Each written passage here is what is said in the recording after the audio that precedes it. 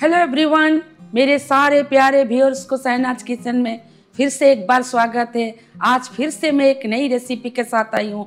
ये रेसिपी का नाम है भेज हांडी कढ़ाई। ये रेसिपी है होटल स्टाइल। चलिए शुरू करते हैं भेज हांडी कढ़ाई के साथ।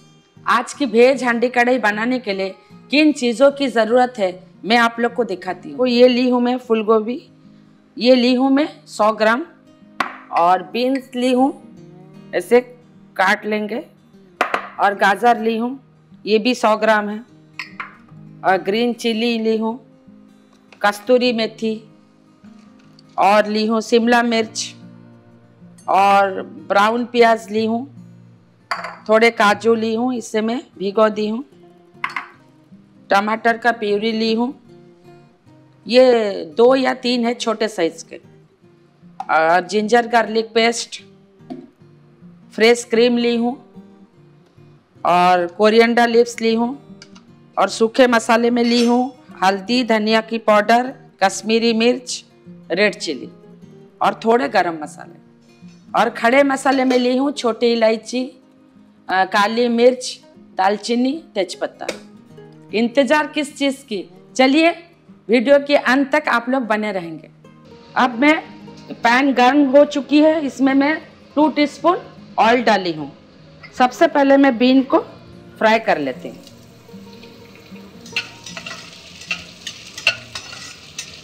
और एक चीज़ मैं आप लोग को दिखाने भूल गई थी, ये फ्रोज़न मटर भी ली हूँ मैं। मैं सारे भेज को फ्राई करने के बाद आपसे मिलती हूँ। देखिए, अब इसे इतने ही फ्राई करना। अब मैं पैन में दो या अढ़ाई टीस्पून ऑयल डालती हूँ। जब ये गर्म हो जाएगा, तब हम इसमें हाफ़ टी स्पून साबुत जीरा डालेंगे। फिर इसमें छोटी इलायची, चार पाँच काली मिर्च, दालचीनी का एक टुकड़ा इसे भी डाल देंगे, तेजपत्ता भी डालेंगे। अब हम इसे थोड़ा फ्राई कर लेंगे। अब हम इसमें जिंजर गार्लिक का वन टीस्पून डालेंगे। फिर हम इसे चला लेंगे। इसका कच्चापन चले जाने तक का हम इसे चलाएँगे। अब हम इसमें टमाटर प्यूरी डालेंगे। इसे भी थोड़ा चला लेंगे। टमाटर का कच्चापन जाते तक का हम इसे पकाएँगे।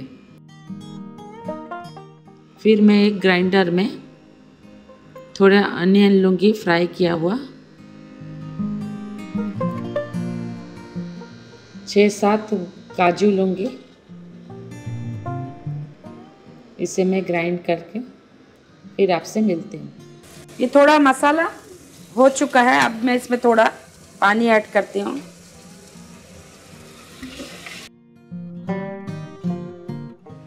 अब इसमें सूखा मसाला डालते हैं। सबसे पहले मैं हल्दी डालूँगी, हाफ़ टी स्पून कश्मीरी मिर्च डालूँगी, एक टीस्पून। रेड चिली डालूँगी, हाफ़ टी स्पून धनिया की पाउडर डालूँगी, वन टीस्पून। इसी से हम अच्छे से चला लेंगे।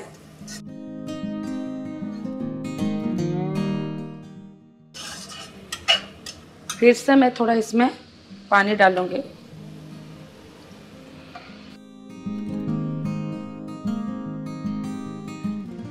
इसे कवर करके दो मिनट पकाएँगे। देखते हैं हुआ कि नहीं?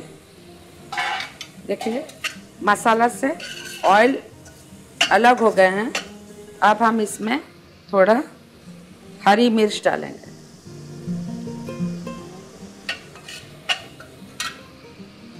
और थोड़ा पानी डालेंगे।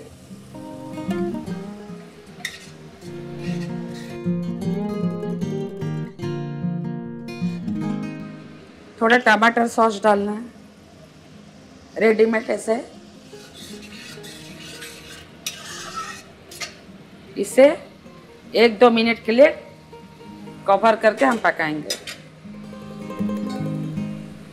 देखिए मसाला बन चुके हैं अब।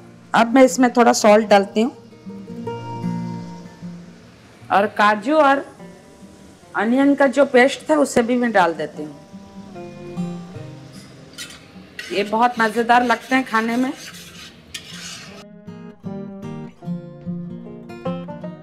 थोड़ा मीडियम फ्लेम में आप इसे पकाएँगे।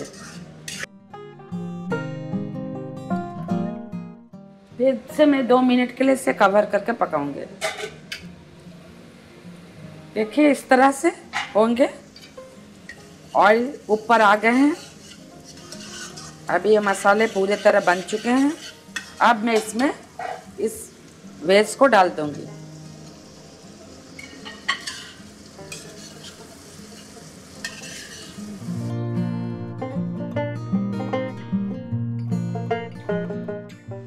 इसे दो मिनट के बाद इसे मैं फिर से कवर करके पकाऊँगी।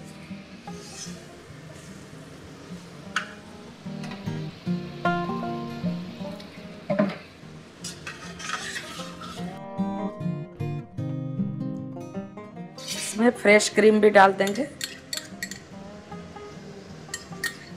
और कस्तूरी मेथी इसे भी डाल देंगे। और थोड़े गरम मसाला। फिर से हम इसे कवर करके छः सात मिनट के लिए पकाएँगे। देखते हैं बना कि नहीं। देखिए, अब ये होने लग है।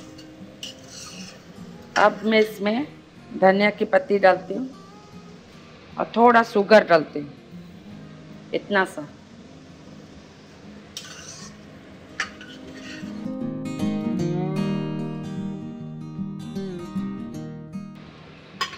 फिर से मैं दो मिनट के लिए पकाती हूँ।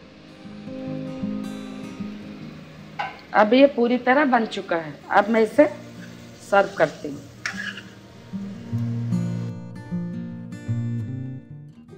इसे नान के साथ, रूमाली रोटी, सबके साथ आप खा सकते हैं। ये बन चुका है पूरी तरह।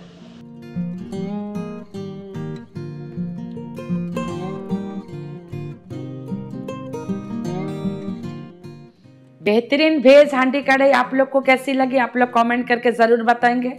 और आप लोग भी इस रेसिपी को एक बार ज़रूर ट्राई कीजिए। फिर से मैं एक बार वन के के लिए शुक्रिया अदा करना चाहती हूँ। और जो नए हैं सब्सक्राइब कर लें और ज़्यादा से ज़्यादा शेयर कीजिए। और इस वीडियो को मैं यहीं समाप्त करती हूँ।